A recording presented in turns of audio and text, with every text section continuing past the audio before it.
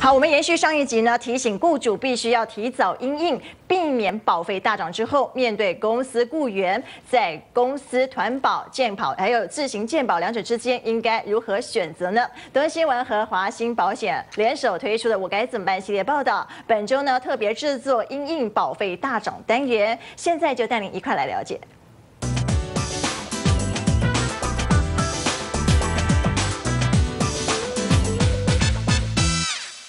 其实，如果说今天您是公司的员工，或者是 HR 的 manager，因为很多的 HR 其实您也是公司的员工，那您想要去看一下，说到底公司这一端，您如果如何要去平衡公司的 budget 加上员工的福利，其实要看一下你们公司的状况，每一间公司状况不同。举个例子来说好了，如果你们是一个五个人左右的公司，那公司员工的平均年薪并不是真的太高，而且您可能知道，您的员工有很多人，他们其实家里面有不少的抚养人口，那在这样子的情况。下用公司做健康保险，其实并不是唯一的选择。为什么呢？因为从二零一四年开始有了 Obama Care 之后，其实如果您的员工他们的收入符合政府的规定，其实他们是可以去跟政府拿政府补助去购买健康保险的。但是呢，这个员工呢会因为你们公司开放了健康保险计划而失去这样的权利。